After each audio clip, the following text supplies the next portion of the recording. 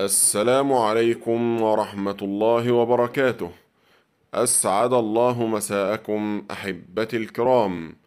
قبل بداية الفيديو بإمكانكم أن تدعمونا بالاشتراك ليصلكم كل ما هو جديد من قناتنا أول بأول.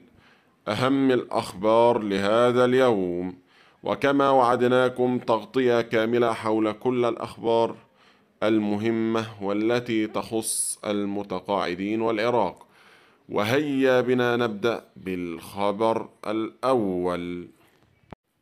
وفي هذا الفيديو سنتعرف على المادة الحادية عشر لحقوق المتقاعدين والتي تنص على تنتقل الحقوق والالتزامات المترتبة على النظام الصادر بالمرسوم الملكي رقم ستة في تسعتاشر اتنين ألف تلتمية واحد وتمانين هجريا.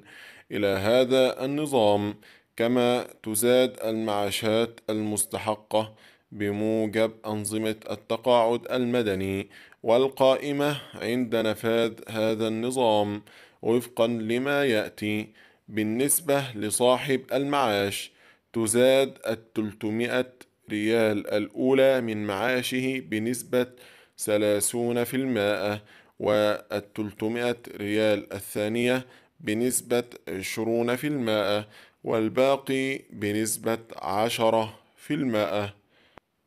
وبالنسبة لمجموع الاستحقاقات على صاحب المعاش تزاد الميتين ريال الأولى بنسبة سبعون في المئة والميتين ريال الثانية بنسبة خمسون في المائة والباقي بنسبة ثلاثون في المائة على أنه يجب ألا يترتب على هذه الزيادة تجاوز المعاش أو مجموع الاستحقاق عن صاحب المعاش مبلغ ألفي ريال.